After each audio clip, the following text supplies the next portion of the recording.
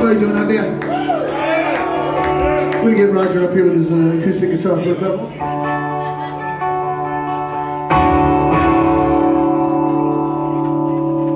This is an old one called Substitute.